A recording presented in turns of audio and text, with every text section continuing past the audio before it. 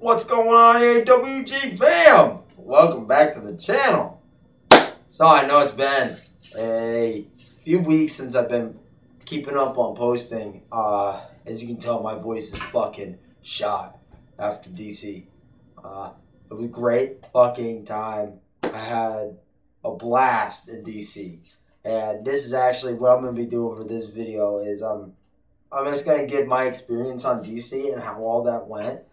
Um, like I said, it was a great experience. I did lots of yelling, lots of fuck Antifas.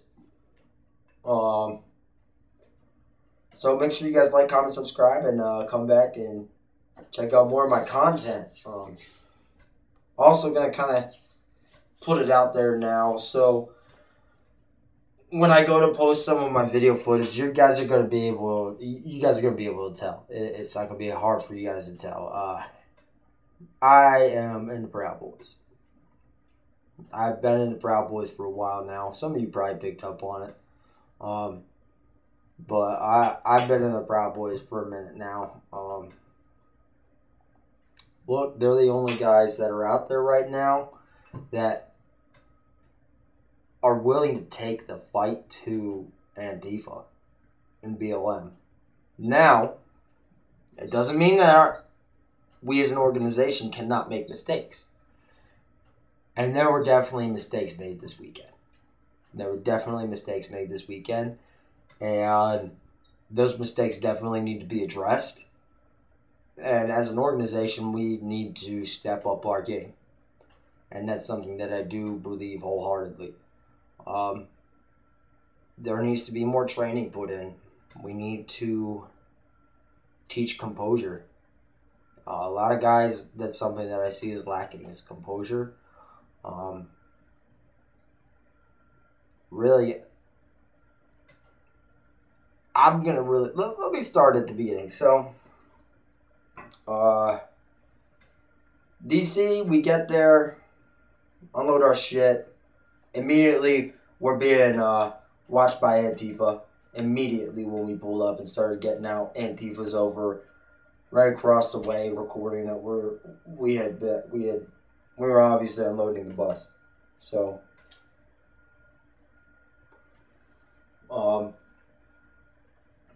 get all get all checked in, get our stuff away. Um, we ended up going going out and hitting the streets uh, later that night, just doing uh, basically just walking around, showing that we're we're in town. Um, got to see Roger Stone while I was out there. That was really cool. Uh, I got a couple pictures. Um, I I wanted to get more video, but I'm sorry with everything going on and the seriousness of being out there and having to deal with Antifa and their antics and just keeping head, my head on a swivel. It just, I if I'm gonna do video, it's gotta be on like a GoPro or something like that. It can't be through my phone. Um, it's just it's not gonna work. It's gotta be something that has a constant recorder on it because I can't go and be like, oh, the good shit's happening now. Let me start recording. It's just not possible. So, um, definitely wish I had gotten more. I got some. Um, when things were, were kind of starting off uh, Saturday morning, um, we, I think we got there about 10, 10.30 ish. Maybe before then. I, I can't remember for sure because that whole day, I was, it was a long motherfucking day. Um, I want to say I was in kit, which I wore full kit the whole time. I was in kit probably 12 to 14 hours that day, I think is about what we were in kit for. So, it was a rough day. I mean, I'm, uh, I got the bruises to show it, so and trust me, the blisters on my feet to show the 15 miles that we put in that day, too. Uh, Saturday, we probably put in about 15 miles walking around DC. Um, Saturday night, I'll get into that here in a little bit. Uh, Saturday night was a fucking clusterfuck. But Saturday during the day, hands down, probably one of the best experiences that I've ever had in, in my life. Um, just the people that were out there, the love and the support. It, it was uh, I.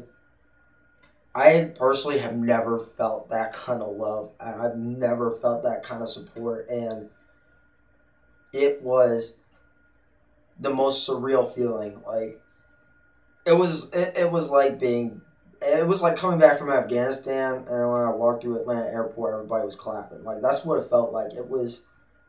I've never felt anything like that, and I had so many people come up and say, you know, thank you for what you're doing. You know, we need more guys like you. We need more people like you, and I, I agree. You know, I we need more people who are willing to go out and defend others.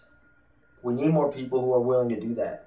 And here's the thing: Saturday night there were so many escort missions where people got escorted back to their hotels by the Proud Boys. But that's not being talked about.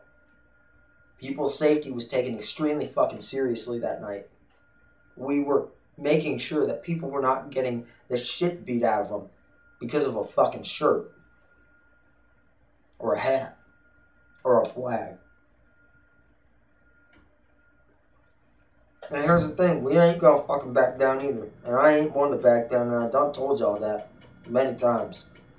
That's why I said I joined an organization that's willing to stand in front of these motherfuckers and say we ain't gonna fucking take your bullshit. You can kiss my ass. And that's how I feel about it. Look, y'all can hate me as much as you want, y'all can talk as much shit as you want. I don't fucking care.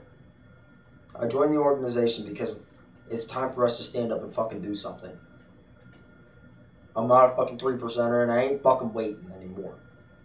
I'm done. I'm done with the waiting. Hell, I even had an E9 Sergeant Major come up to me. I'm tired, obviously. But tell me, ah, you're doing the right thing, son. Thank you. And I'm glad to see the Airborne is out here representing. That right there says enough for me. That tells me that I am doing the right thing, and you know what? I don't fucking care what anybody else says. I have plenty of military officers and high ranking enlisted come up and say, You're doing the right thing. If you have any doubts about what you're doing, you're doing the right thing. You're standing up for the American people. And that's why I'm out there. That's why I joined this organization. Because they're doing the right fucking thing. Now, like I said, Saturday night, there were some things that need to be addressed about Saturday night, and that will be coming here in a minute. But um, something else that that was it, it, was so incredible was the amount of foreign people, the people who had immigrated here, that were down there at that rally speaking out about socialism and communism because they escaped it. That shit, I'm not gonna lie, I teared up at points listening to some of their stories about how they came here for a better life because they didn't have a shot of a better life in their country because of communism. And I'm talking people from Mexico talking about the oppression in Mexico, talking people from South America talking about the oppression in South America. China, China, with people from China were huge there, and the CCP, that was all over the place. That, and their stories are fucking incredible. People from Vietnam. I'm telling you. If you don't think that communism or socialism is a bad thing, you're out of your goddamn mind. Go talk to those people like I talk to them. Listen to their stories. It, it, they are the American dream. And I thank them. Because at least they're the ones who keep it alive.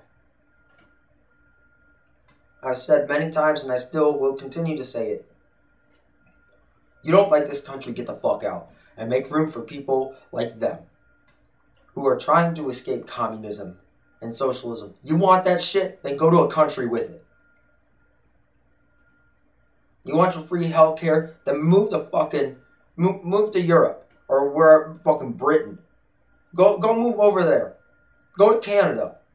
You don't like it here? Then get the fuck out You want free healthcare? Go to somewhere where you're taxed 50 fucking percent of your goddamn income. So that you can have that free healthcare that is so fucking free. There's no such thing as goddamn free. I'm sick of hearing that shit from people. That needs to stop. There's no such thing as free. You're gonna be taxed for it. It has to be paid for somehow. Nothing in this world is free. Nothing. That's why I like to work for a living. Because at least I feel like I accomplished something at the end of the fucking day.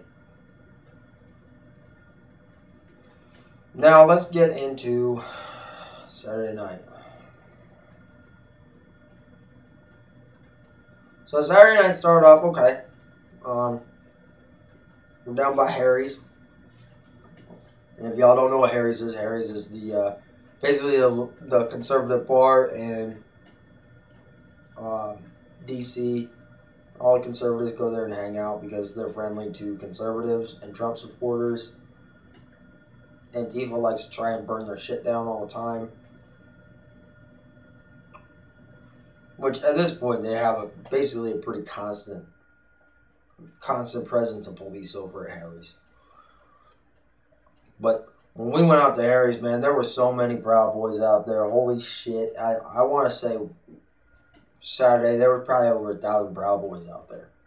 Easily over a thousand Proud Boys out there. Um, and that's kind of why I, Saturday night, I, I it was such, there was just so much going on it, it was insane. It really was. Now, something I do want to address on behalf of the organization of the Proud Boys. Look, we got to get to a point where we ain't stomping motherfuckers out once they're down. We're going to kill somebody. Point blank, period.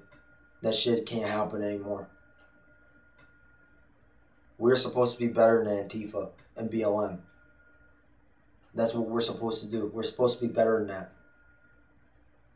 Stomping motherfuckers out after we're already down on the ground. You're gonna fucking kill somebody and now people are going to prison. That's not what we're trying to accomplish here. I don't want to see my brothers in this organization go to prison because you did something fucking stupid. That's newbie shit. And we ain't got no place for that in the organization. You don't want to listen to what people are telling you to do. You're saying, fuck that, fuck the leadership, then get the fuck out.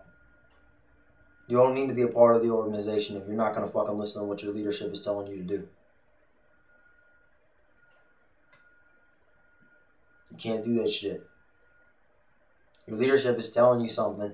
You better fucking listen.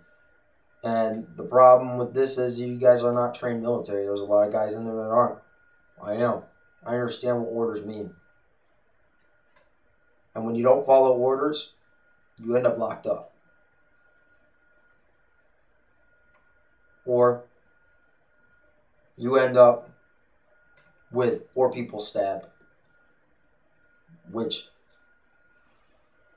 I don't know how avoidable that was. And I will say, from, from my point of view, I don't know if that was avoidable honestly, I think that guy was there to get one of the top leadership. I'm almost 100% sure that he was placed there to try to get some of our top leadership.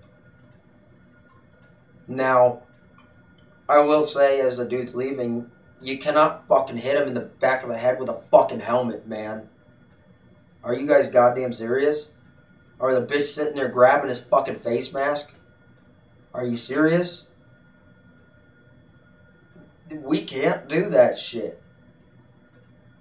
Now here's the thing: is like people people want to talk all that shit. Like people said the dude got sucker punched, but here's the thing: when that woman grabbed his mask, everybody else around her knew he had a knife. Apparently, she had no fucking clue. But that's why people started hitting him because he had a fucking knife, and people were scared he was about to start swinging that knife around. Which inevitably that's what happened. And We almost lost one of our top leadership. He's in the hospital right now. He was one of the people who was stabbed, and he had internal bleeding, and they couldn't find it. So, and here's the thing Antifa knows who he is, and Antifa did put a hit out on him. So, you come to your own conclusions, but I've got a pretty good idea as to what happened. I'm not a fucking idiot, and most people aren't. So,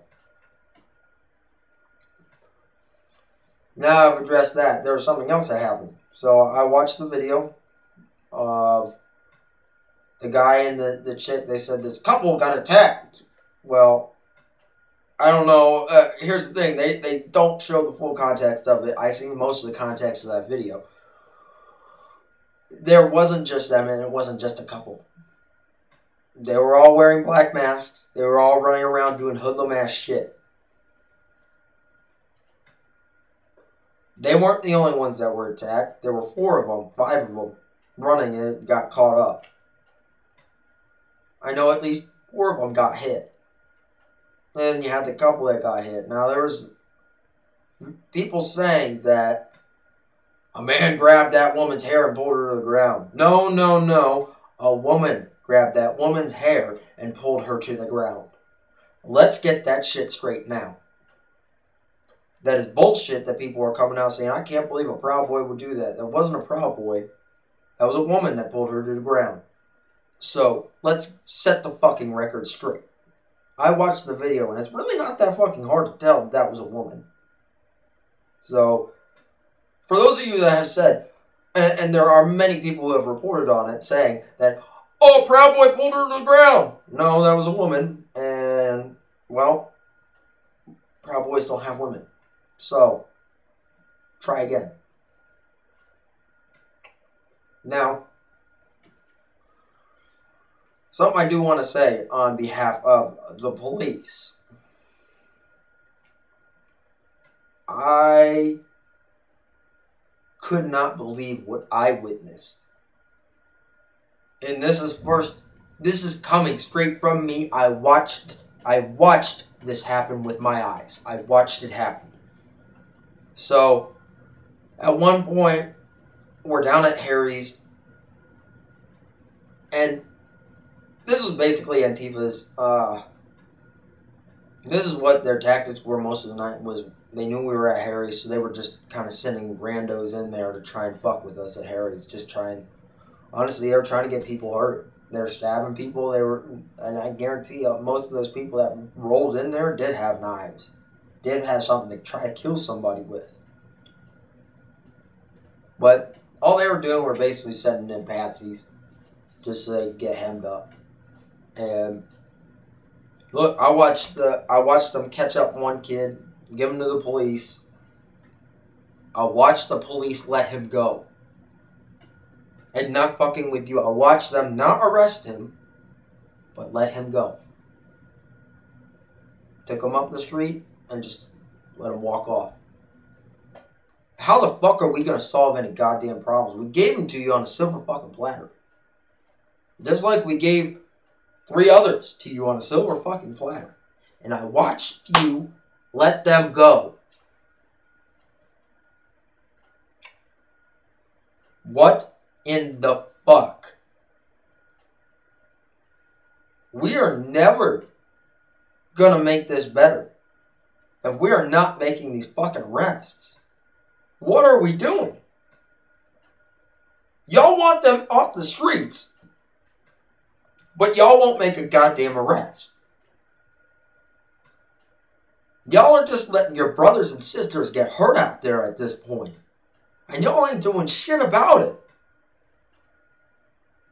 Like, we took to the streets because we are there to clean up the streets.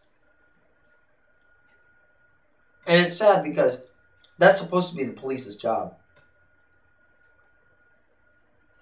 But after this weekend, I don't know how I feel about the police anymore. I know for sure I support the Cleveland police. For, for sure. Because they understand the severity of the situation.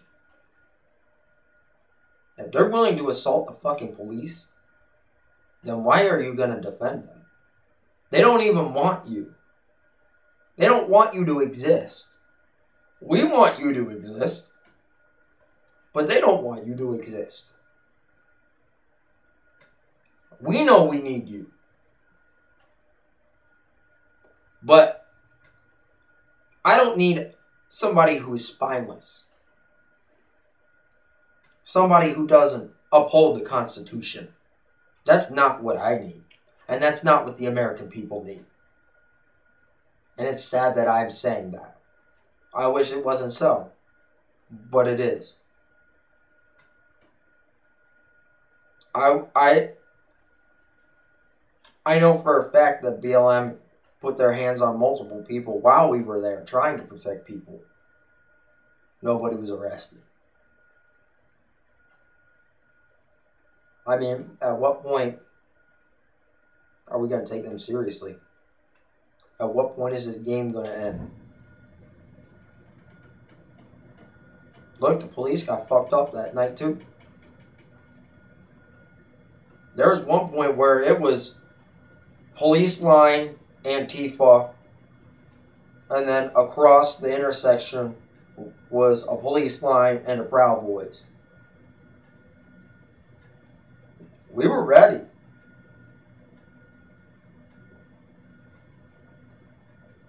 We told them, go take a cigarette break. Go get a donut. Go go take a few minutes. Let's handle this problem for you. Y'all can't handle it. Your hands are tied. Ours aren't. Because we ain't scared to do what needs to be done. And I'm not scared to do what needs to be done. I'll take to the goddamn streets. That shit don't bother me at all. It's I, I I said it's like I went on a fucking deployment in my own goddamn country because of how insane things have gotten. I'm out there because I give a fuck about the people of this country. I don't want to see people get hurt. Not over a fucking political party. Who gives a fuck?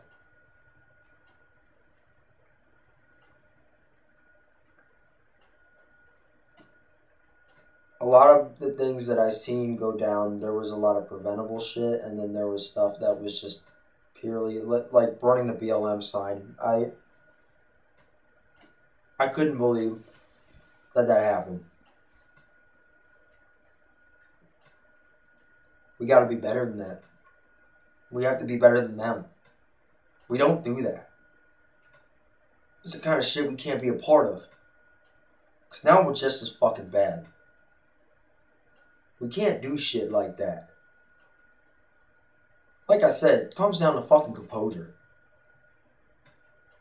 And the leadership needs to hold people fucking accountable. And you know who was a part of that dumb shit, they best be out the fucking organization. Or have a serious fucking reprimand. And I mean, I don't know how serious you can get with it. Me personally, I understand it's not a military organization. It's not. But you have to treat it as such. If we're talking about potential war with these people, we need to be tactical. We need to be more tactical. We need to be more efficient. What I would like to see is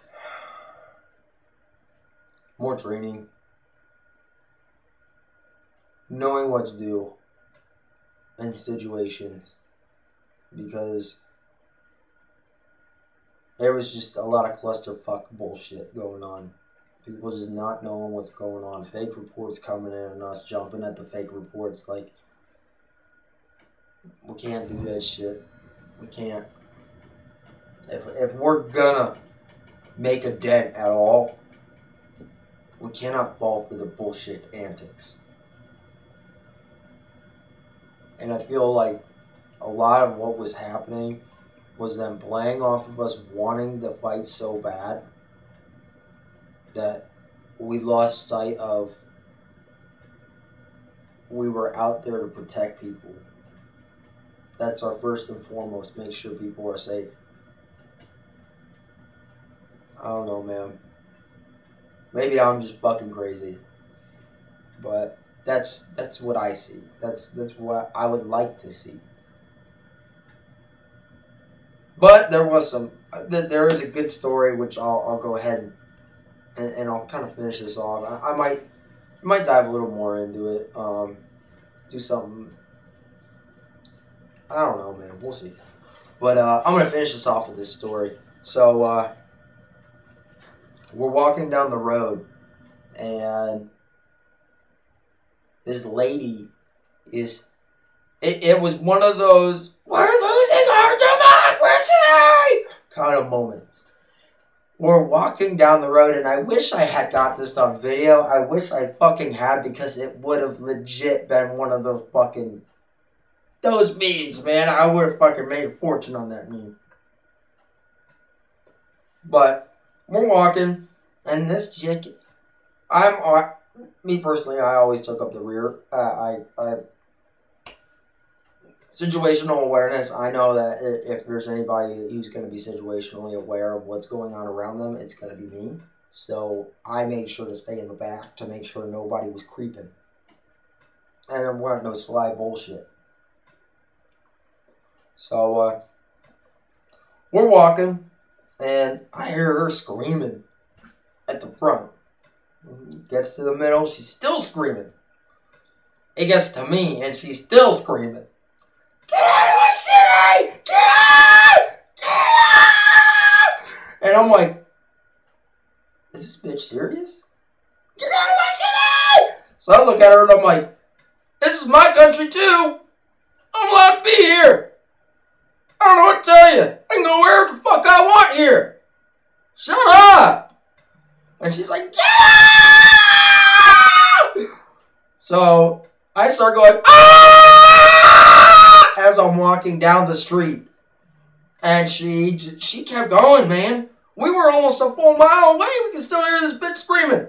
Like, I shit you not. We probably went four blocks and we could still hear her screaming at the top of her lungs. I was hoping and praying that she was gonna do one of them, hit the gas and nail the person in front of her fucking things, but unfortunately that didn't happen. So, but I figured I'd, I'd leave it up on a on a fun note and uh, yeah, let me know what you guys thought and uh, I will see you guys in the next one.